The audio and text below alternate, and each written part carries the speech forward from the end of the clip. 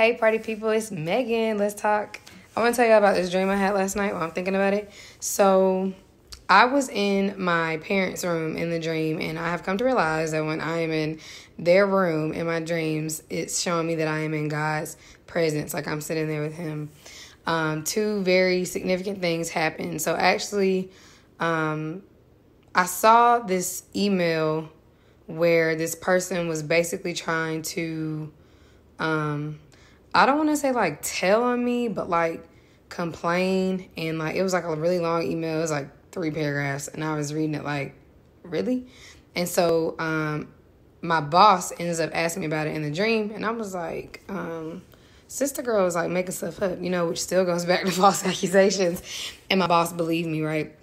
And I was thankful for that in the dream. But then when I told the girl, like I saw the email, she tried to deny it, and it was like, "Sis, you can't deny it," which goes back to the receipts. Like, like how are you gonna deny it? I saw it, you know. And I'm also gonna point out that this is the same individual who was in the um, closet in one of my dream videos I made over a year ago about God rewarding us, like He had took us up to heaven and well, we knew it was in the mansion of heaven. And he was like, you can have whatever you wanted. And we knew like once we got back down to earth, like what we had asked for, we was up there was gonna be down there. It was the same individual who's in the closet, and I had told y'all the haters are in the closet, and I just spoke on that because that person was decaying in the closet. It was that same person, and so she actually she wanted to use my friend's help. They were um they ended up coming in. I, I can't really say friend. I don't even know how to describe this to y'all, but it was a man helping me um in the dream and he was basically telling me like be cool. He saw the email. I had accidentally left it up and he was like so what you gonna do about that? And he was just telling me to be cool and god tells me to be cool all the time. And she wanted his help and we were like no he wasn't gonna help her because she was plotting against me or whatever right? So that was interesting as well like no so even me just saying that um he definitely wasn't listening to her or answering nothing that she wanted because again she was plotting against me which goes back to the touch not my anointed bring my prophet no harm right? So we know that's happening in this time. Um so i prayed against that right? Like whatever the enemy is up to trying to do through that person like i prayed against it and i prayed that god's children you know in my workplace would be sensitive to his spirit and discern like what had happened in my dream, like they believed me because why would I lie? Like your character speaks for itself. And so um that's important. So pray, okay? Like we have these dreams so we know what to target in prayer, okay? Okay, and so the last thing is so that's happening on the computer screen. Then on the TV in my mom and them room, me and him was watching that, me and the man, and we were just paying attention to what was happening. Okay, so let me interject real quick the man that was in the room with me, um, he actually passed away this year, and that kind of shook me when I woke up. But um, in the dream, he was like a graphic designer, and so that's what I needed his help with, and um, that's what she wanted his help with, and he was like, "No, nah, we're not gonna do that." Like he wasn't gonna help her. He was cool, real calm. Um, so we turn our attention to the TV, and it's another girl who I don't know, and two people I don't know. I can't tell y'all what show this was. Like, I ain't never seen none of this in my life. But the girl basically was telling the two people, like, I'm not going to do this anymore. I'm not going to work for you anymore. And the two people were very upset. Like, the look on their face, they was like shook. Like, how dare you decide not to help us anymore? I now know that they were demons, right? and the girl was coming out of agreement with them, which is what people should be doing, turning around and repenting, not attacking God's children and still expecting God to help them. Telling them like I'm not doing this anymore. And they were basically trying to steal the man I was with. So then they got real confused. I was like, wait, we know the people on the TV? Like, how, what is going on? They were trying to steal like his work.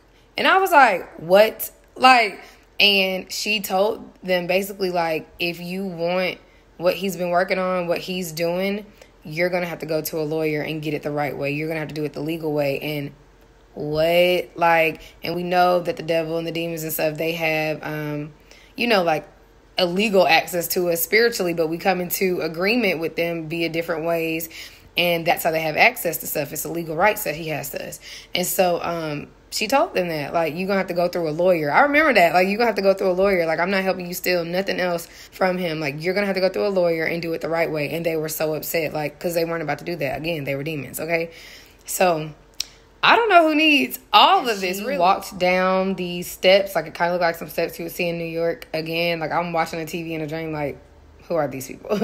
and she walked down those steps, matter of factly, confidently, like I'm done doing business with y'all. So shout out to everybody who is coming out of these agreements, repenting, all that, because that's what we all have to do, okay?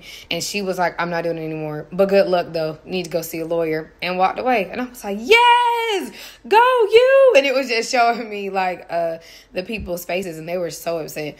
But then um back to the man, he was very creative. He was actually working on the computer the whole time that all this was going on and we were talking and I was looking at him do the work like I'm saying graphic designer. He was very creative. And we know that God is very creative. Like he is the creative. Okay. So I just pray the Holy Spirit reveals what you needed through me sharing my dream.